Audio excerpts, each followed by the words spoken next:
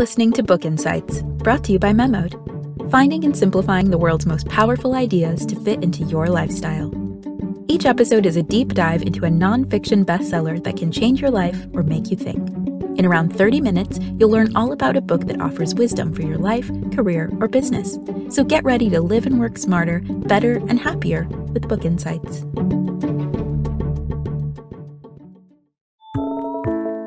For the average adult, there's nothing unusual about commuting to and from work.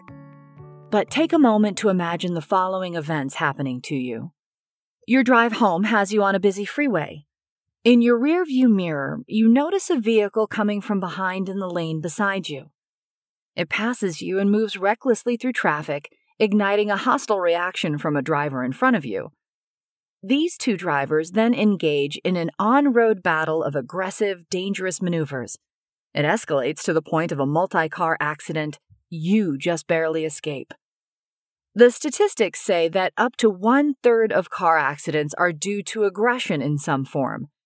If drivers prone to hostility were able to exert better control over their emotions, countless lives could be saved.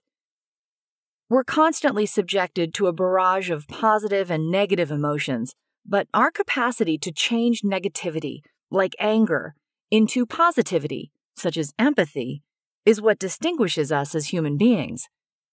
This ability to accurately sense your emotions and those of others and to respond appropriately extends far beyond the freeway. It can bring life changing improvements to your relationships at home, with friends, and at work. On the job, for example, studies show that those with higher emotional intelligence earn up to $29,000 more than those with low EQ. In fact, Emotional intelligence is the critical factor that explains the peculiar finding that in the workplace, people with an average IQ often outperform those with a high IQ.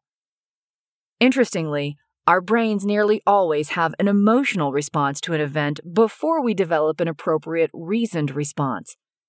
Emotional intelligence, however, can improve your ability to use parts of your brain linked with rationality rather than reactivity so that raw emotions don't have as much influence on your behavior.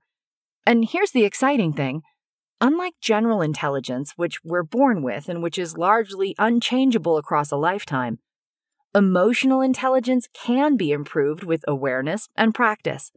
What's more, we tend to get better at it the older we get. This is the finding of psychologists Travis Bradberry and Jean Greaves, the authors of Emotional Intelligence 2.0. Before we delve into the book, a quick word on their expertise. Bradberry has a degree in clinical psychology from the University of California. He later attained two PhDs from the California School of Professional Psychiatry in Clinical Psychology and in Organizational Psychology. Jean Greaves started out with a degree in clinical psychology from Stanford, then completed a PhD in organizational psychology at the California School of Professional Psychiatry. In 2001, the pair launched TalentSmart, a provider of emotional intelligence testing and training that has tested over half a million people. Emotional Intelligence 2.0 comes with its own emotional intelligence appraisal test. In this book insight, we'll explore the following key themes that underpin the author's idea of EQ. First, self awareness, which is about accurately perceiving and predicting your emotions and knowing which events trigger them. Second, self management, or the ability to manage your emotions to the benefit of yourself and others. Third, social awareness, the ability to pick up on the emotions of those around you. And finally, social competence, acting effectively upon the emotions that you perceive in others to improve your relationship with them. We'll conclude by taking a wider look at the criticisms of emotional intelligence itself within psychology and its validity in terms of success in work and life. Self awareness is a skill that requires a deliberate effort to understand the emotions that you have and where they come from. One of the conclusions that Bradberry and Greaves draw from their research is that only 36% of people are able to accurately identify their emotions as they happen. Here's Bradberry himself speaking at a TED Talk. Okay, now people always want to know how you can go about increasing your emotional intelligence. And I, I, absolutely recommend that you test yourself and you find for you what your low areas are. For one person, it may be social awareness. For another person, it may be self awareness. And that's a really great starting point. Improving emotional awareness requires making time for self reflection. But the very act of thinking about your emotions can alone lead to improvement, the authors say. This means being okay with experiencing some discomfort about yourself and trying to accept it. If we feel shameful or guilty, for example, we often try to ignore these feelings and move on as soon as possible. But this will likely lead to those emotions resurfacing at times we might not expect or desire. Moreover, if we ignore these negative emotions, we're likely to commit these same errors again. Self awareness includes being very clear on who pushes our buttons. Buttons are triggers that make us angry, anxious, or frustrated. The triggers may be other people. For example, a coworker who you never see eye to eye with. Without careful reflection, you might not realize that this person often sets you off in a bad mood, and in turn, you act negatively towards others. Upon knowing and accepting this, you can prepare in advance for when you encounter this person. Then you can try to turn things around to make the outcome beneficial rather than inflame things. We tend to label our emotions as good or bad without thinking too much about it. For example, we may label fear as bad without appreciating the benefits for safety and survival that fear provides. When we label our emotions in this way, it can prevent us from going deeper to understand what truly underlies them. If we suspend our judgment and think of our feelings rationally, we can move beyond them and their potential consequences.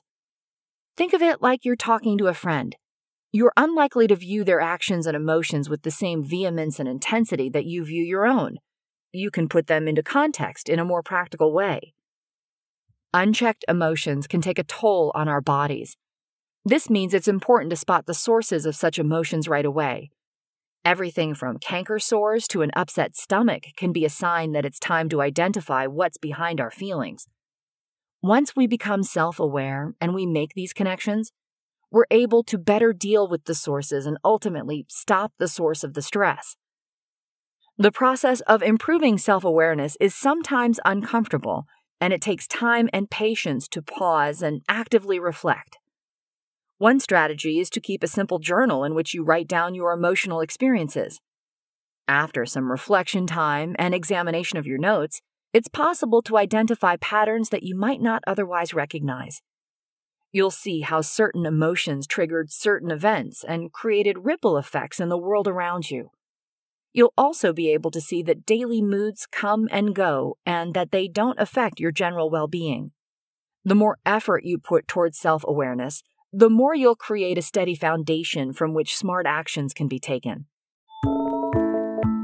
In this part, we began our dive into Travis Bradberry and Jean Greaves' Emotional Intelligence 2.0.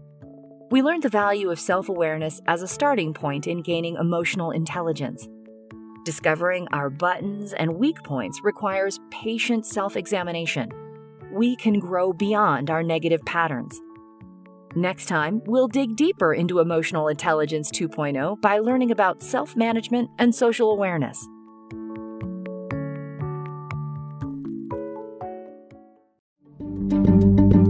Enjoying this episode of Book Insights?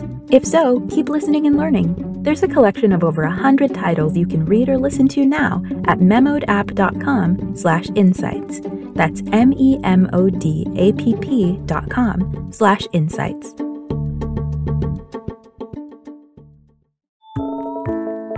In their number one New York Times bestselling book, Travis Bradberry and Jean Greaves conducted extensive research into emotional intelligence, interviewing over half a million people in order to identify the traits that underpin high EQ.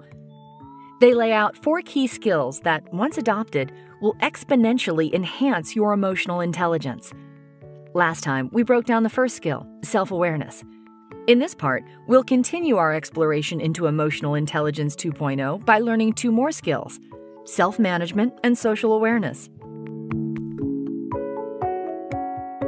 As humans, our brains are wired to react emotionally to signals and impetus before our reason kicks in. This pattern is a consequence of evolution. There was a time, thousands of years ago, when our reactions were all we had the classic fight or flight instinct. They were good enough for survival in terms of providing food and mates. Now, although we still have emotional reactions to our experiences, we can become aware of these emotions and their sources. We can actively reason out the appropriate response and execute it. We can self manage. Self management begins with something basic that we might not always be cognizant of our physical condition. If you're tired, for example, it's difficult to do anything effectively, let alone manage your responses to events that spark you off in some way. Making sure you've had enough sleep can make a huge difference in having calmer, more reasoned responses.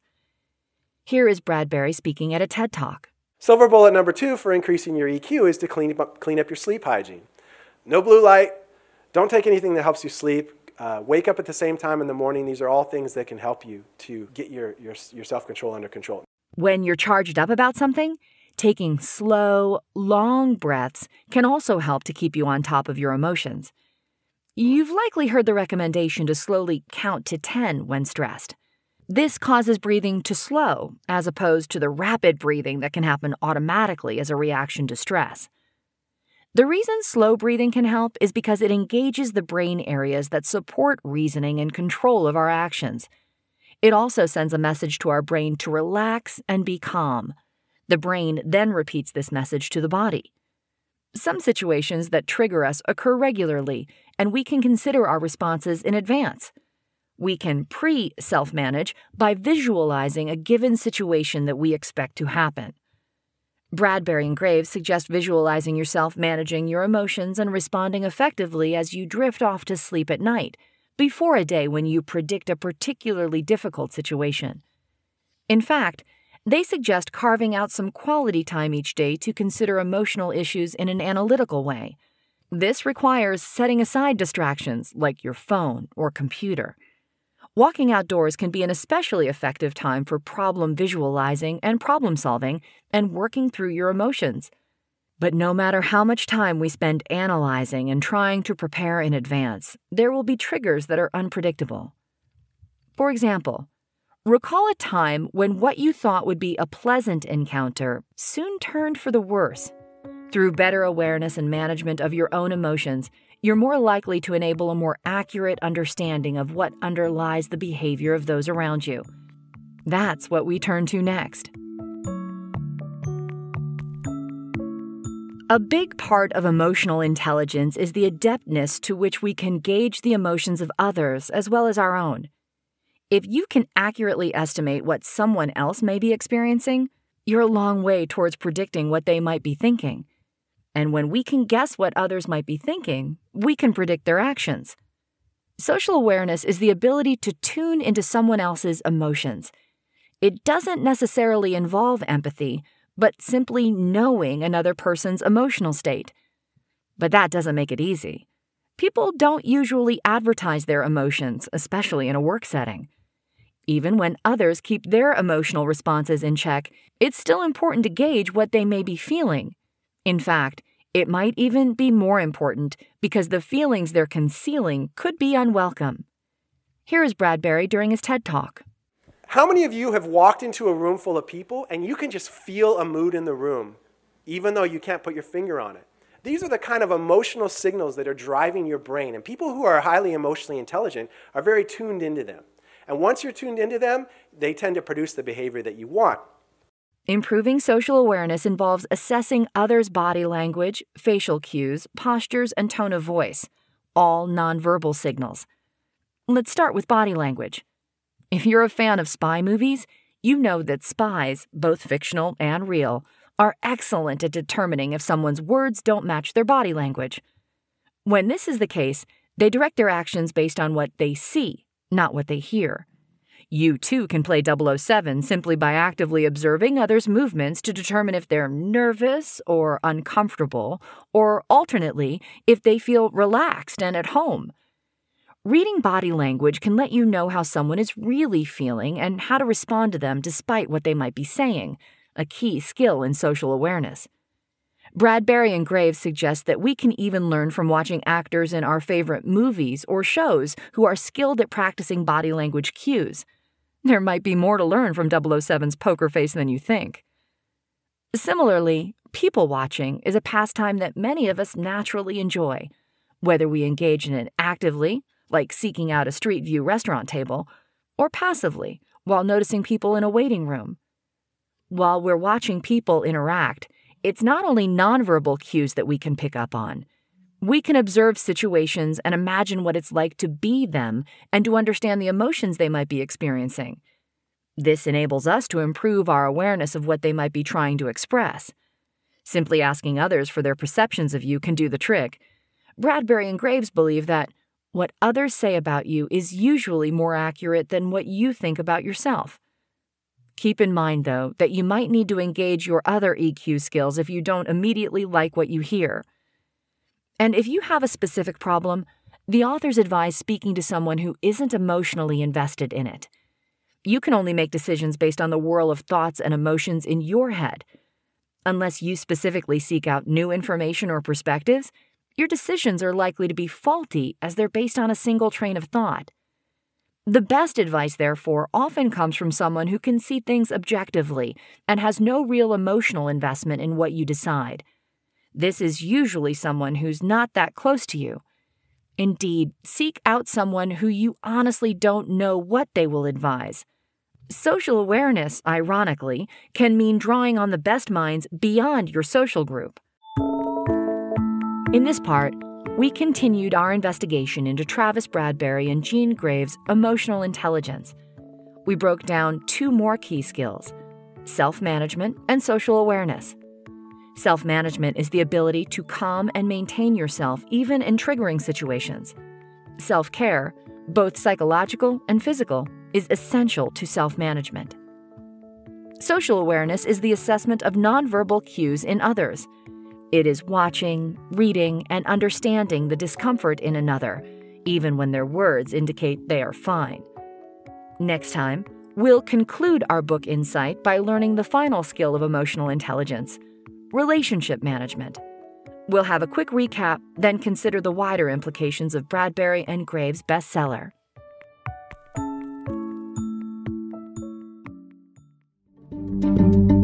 Enjoying this episode of Book Insights? If so, keep listening and learning. There's a collection of over 100 titles you can read or listen to now at memodapp.com slash insights. That's M-E-M-O-D-A-P-P dot com slash insights.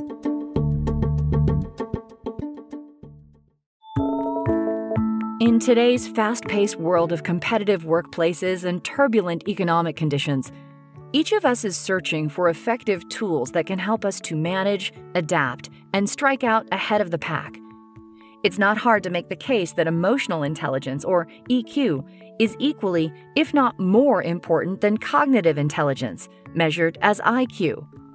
But unlike cognitive ability, your EQ can be actively improved over the course of a lifetime. Infinitely practical, Emotional Intelligence 2.0 by Travis Bradberry and Jean Greaves delivers expert advice for increasing your EQ to enable you to achieve your fullest potential.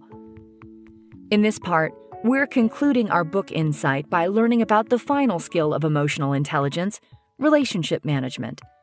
We'll recap what we learned and consider the legacy of Bradberry and Greaves' book. How you manage your relationships is a big part of emotional intelligence. And there's no better example of relationship management than engaging someone in a difficult but important conversation. Imagine a work situation where you need to have an important chat. You'll need to tap into your social awareness skills to understand the other person's perspective. Once you start talking to them, use your self awareness skills to be aware of possible triggers. If they occur, Use self management skills to prevent yourself from getting too defensive. But you don't need to have an in depth conversation with someone in order to hone and execute relationship skills. Many of them can be practiced in relatively short interactions and statements. To start, being open and curious with those you work with is a skill that Bradberry and Greaves suggest is absolutely and unequivocally part of being successful at your job. This requires both sharing information about yourself and demonstrating interest in your colleagues.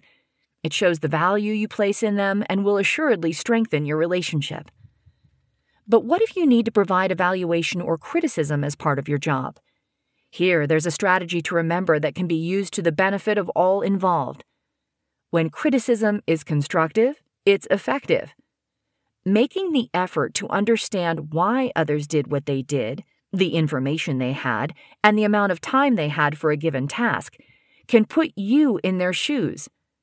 You use this social awareness to develop guidelines for improvement. How much better this is than just getting angry. Asking for feedback, receiving it well, and acting on it are important elements of emotional intelligence. If you receive feedback that is critical, you may need to use all your self awareness and self management skills to deal with it. The process, however, involves gaining a better understanding of others' perspective and demonstrates the value you place in the person giving it to you. It means that you want to grow and learn. This is surely what every boss and employee wants. Regardless of whether your interaction with someone involves curiosity, criticism, or feedback, one thing to always consider is your acknowledgement of their feelings. Here is Bradberry during his TED Talk. When you master your emotions, when you become aware of them and when you're able to manage them effectively, it trickles into everything you do. It trickles into how you manage stress, it uh, affects how you give presentations, how you work in a team, how you make decisions. It's a foundational skill. We found that emotional intelligence, when it comes to work, explains about 60% of how you do. If you look at the percentage of top performers, what percentage of them are high in EQ? It's 90%. If you have poor relationship management skills, demonstrating regard for others' emotions is a major step forward. Specifically, it's important to not only acknowledge what others feel, but respect that it may be completely different to how you feel about the same thing. A prime example is acknowledging that someone may be upset. Say a new coworker obviously seems off one morning. You could be tempted to think the upcoming meeting will distract them from whatever is bothering them Moreover, you're not ready for the meeting and need to do some number crunching to get the figures you're obligated to discuss. But instead of looking for reasons to ignore your coworkers' problems, it could be more effective to set aside some time to show that you see they're upset and that you'll do what you can to help them before the meeting. If that requires too much time, offering to help after the meeting would likely be a gesture they'd appreciate. They may seem obvious, but using skills and strategies such as these helps to improve communication and maintain existing bonds. It can be the difference between a workplace where you dread entering each day and a happy, meaningful, and constructive one. Let's take a quick recap of the ideas that we've covered in this book Insight. First, we looked at how self awareness is the foundation of emotional intelligence. We saw that it's important to understand what triggers us, but without labeling our emotions as good or bad. We saw how important physical condition is to self management and how it's always possible to control how we react, even if we can't control the situation itself. We explored social awareness and how crucial it is to see nonverbal signs and the whole picture. Finally, we looked at relationship management putting these skills into practice and knowing that if you put your focus on the other person in the situation, you can't go far wrong. The two big things to take away from this book are first, that EQ can be a better predictor of success than IQ, and second, that it can be improved with practice. Top executives have embraced emotional intelligence because of its potential for unleashing better performance and so improve the bottom line but also because it seems to bring better relationships and improved work culture. As we conclude our look into Emotional Intelligence 2.0, let's discuss the reception and criticisms of the book. The term emotional intelligence first appeared in a 1964 paper by Michael Beldoch, a professor of psychology at Cornell University. The concept gained popularity in Daniel Goleman's 1995 blockbuster, Emotional Intelligence. Since then, there's been a fair amount of criticism as to whether there are, in fact, any kind of intelligences different from cognitive intelligence, or IQ. It's argued that being smart with people and our own emotions are simply skills that use cognitive intelligence. It's argued that being smart with people and our own emotions are simply skills that use cognitive intelligence. Adam Grant, the organizational psychologist and author of Originals, has called emotional intelligence overrated. He doesn't dismiss it, but believes that it isn't as important a hiring factor as cognitive ability. Others have argued that EQ measures conformity rather than ability. Just because you have someone in your company who is empathetic and makes others feel good, this is no substitute for workload contribution. Some take criticism of EQ even further. Emotional intelligence is a neutral tool and therefore can be used for good and bad. When you know how to flatter people or push their buttons, you have them in your control and can manipulate them. Indeed, arguably, the original book to explore the power of emotional intelligence was How to Win Friends and Influence People by Dale Carnegie back in 1936. Carnegie pioneered the idea that success was the result of putting the focus on the other person and always seeing things from their point of view. This was partly because it was just a good thing in itself, but it was also a route to career success, he said. But is emotional intelligence actually a necessity in advancing in the workplace? It's true that some of the greatest innovators have lacked EQ skills Bill Gates, Steve Jobs, and Mark Zuckerberg among them. On the other hand, the impact of more people friendly figures, such as Barack Obama, Jeff Bezos, and Oprah Winfrey, would seem to counter that. Perhaps the first three succeeded despite, not because of, their lack of EQ. It's hard to argue that putting the focus on the other person and being attuned to how they're feeling can ever be a negative thing. As Bradberry and Greaves point out, good decisions require far more than factual knowledge they are made using self knowledge and emotional mastery when they're needed most. In other words, good calls require taking in the bigger picture, not just the objective facts, but the people involved. You need other human beings to get on board, stay motivated, and act. Half the job of a boss is managing people and getting the best out of them, which surely requires a full set of emotional skills. Whether or not you call this an intelligence is almost beside the point. Thank you for listening to Book Insights. Check out the rest of our content at memodapp.com. Please keep in mind that the information provided in or through our Book Insights episodes is for educational and informational purposes only. It's not intended to be a substitute for advice given by qualified professionals and should not be relied upon to disregard or delay seeking professional advice.